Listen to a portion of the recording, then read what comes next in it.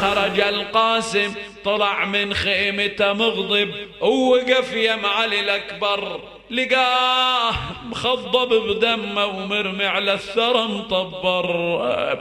وصل إلى عمي الحسين قال بأمان الله يا عماه الحسين انكسر قلبه يقل يقل حسين. يا وليدي يا جاسم يا وليدي نيتكم. أظل وحدي وحدي. بس انت وابو فاضل ناصر ما بقى عندي وهذه الحرم مرعوبة تبقى ميسرة بعدي انت ودعت الله يا ابني وإحنا بالاثر زوار. خرج القاسم يضرب في أوساطهم وهو يقول إن تنكروني فأنا نجل الحسن. سبط النبي المصطفى والمؤتمن هذا حسين كالأسير المرتهن. بين أناس لا سقوا صوب المزن. أبلى بلاء حسنا إلى أن رآه الأزدي عليه اللعن عن بعد. قال علي آثام العرب إن مر بهذا الغلام ولم أثكل عمه به. قال له حميد ويلك تريد أن تقتله؟ والله لو رفع سيفه علي لما رددت عليه. قال بل لأفعلن. كيف فعلها هذا اللعين؟ غادر غادر. هاي شيمتهم الله الله انتظر إلى أن انقطع شسع نعل القاسم. هو منتظر يمر من يمه.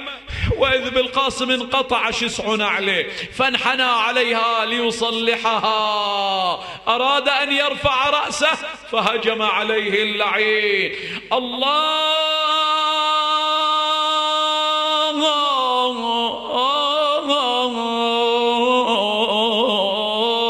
أكبر. ضربه بالسيف على هامته ففلقها. وضع رأسه وضع يده على رأسه مناديا عم يا حسين أدركني. أقبل الحسين كالبرق قتل قاتله وارتمى عليه يبكي وينشج نشيجا عاليا ينشج نشيجا عاليا على عز على أن تدعوه فلا يجيبك. أو يجيبك فلا يعينك. أو يعينك فلا يغني عنك. بك وناداه يا جاسم إيش بيدي؟ يا ريت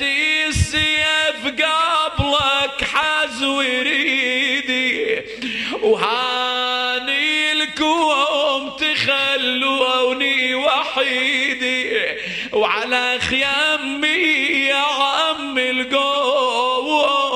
تفتر حمله وتوجه به نحو المخيم. ما خلاه بخيمة لوحده؟ لا بل وضعه بخيمة علي الأكبر.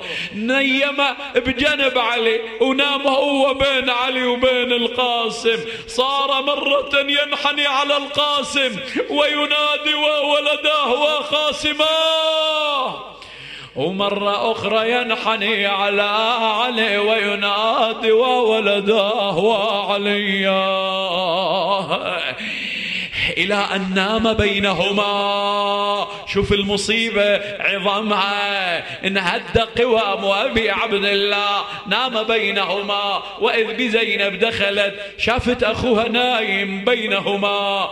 زينب خافت على أخوها خويا. أقسم عليك أن تخرج. قال لها ليش يا زينب قالت هاي النسوة الأم الأخت الكل يريد يبكي العريس. فخرج الحسين ودخلت النسوة.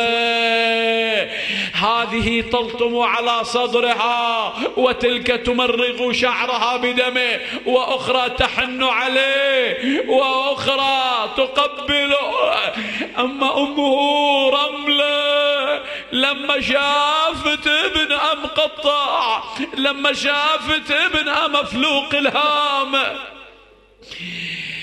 تقول له يا ابنه يا ابنه ضعيف وذوب. قلبي صباك. بعدك شباب وما تعنيت بشبابك. عريس يا ابني ومن دماغ نحرك خضابك